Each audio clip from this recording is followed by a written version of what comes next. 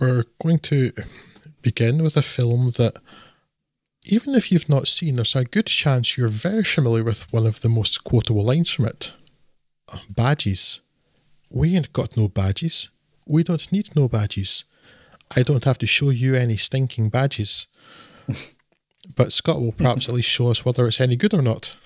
Yes, uh, this is the Treasure of the Sierra Madre, which, uh, well, we're starting off strong with a film that's commonly held up as a strong contender for Huston's best film. Uh, it is, of course, an adaptation of the Fallout New Vegas DLC Dead Money, uh, which sees Huston's frequent co conspirator Humphrey Bogart as Fred C. Dobbs and Tim Holt as Bob Curtin, as down in their luck uh, in mid 20s Tampico after being scammed out over their pay on an oil rig construction project by an unscrupulous boss. An unscrupulous boss? Imagine imagine that. Um, Later, in a grimy hotel, they meet an old timer, Walter Huston as Howard, a gold prospector who claims to have found fortunes and lost them, but feels there's one last find waiting for him up there in the Madres. Uh, the three team up and raise the stake money for the initial investment in gear for an expedition to the mountains, and true to his word, Howard finds a spot that's rich for the taking, even if that taking is long, laborious, difficult work. Howard also warns that the gold has an effect on a man's mind, certainly when combined with the isolation of working in such uh, remote conditions.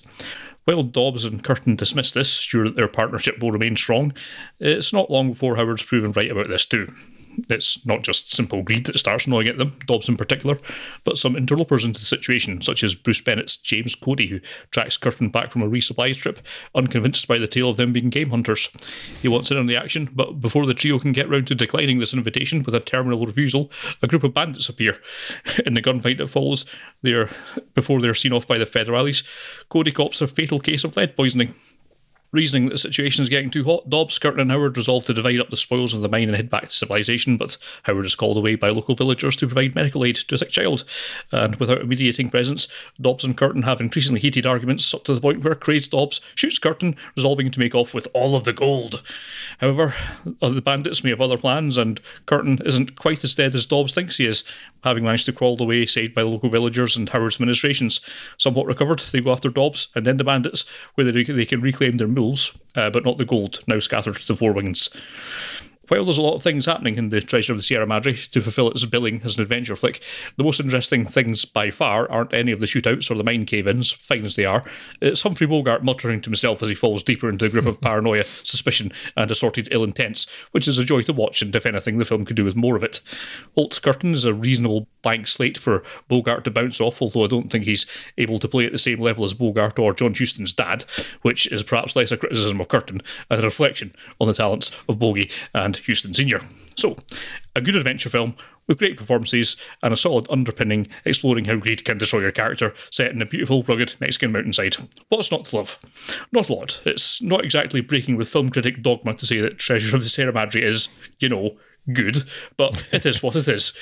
I would say uh, that I, I would say that this is a film you must watch before you die, but only because watching it after you're dead is going to prove tricky. but um,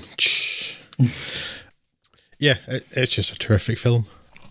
I don't know. It's it's kind of portrayed, or not portrayed, described, and I kind of I think at the time publicised more as an adventure film, and it's it's not. It's a character piece. Mm-hmm.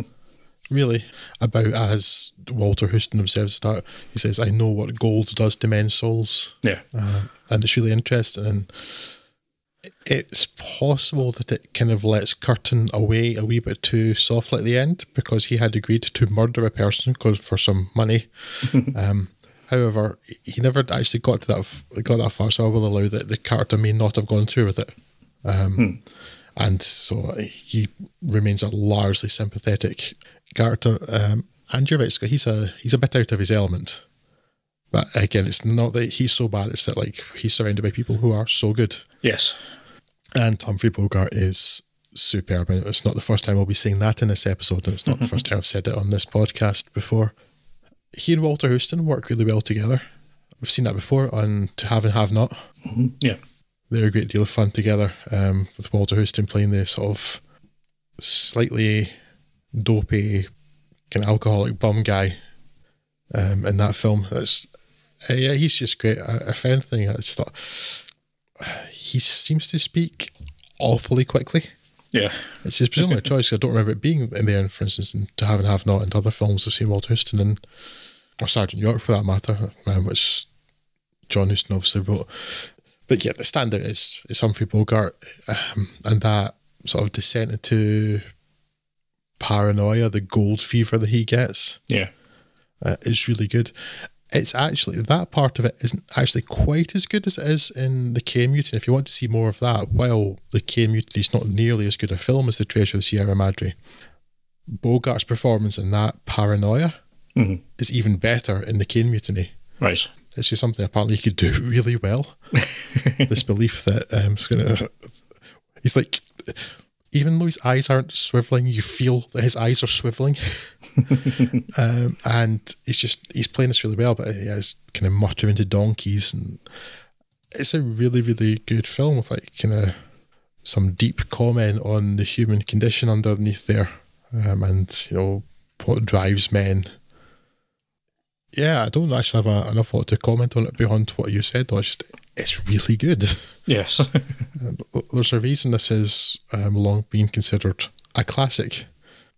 There are at least one in particular film in this episode where I thought it was very good, but I've, I don't necessarily see why it has maintained its um, its reputation as like a classic because there are so many other good films. But this one, I absolutely would argue, is is a as a classic that deserves to still be remembered and watched today.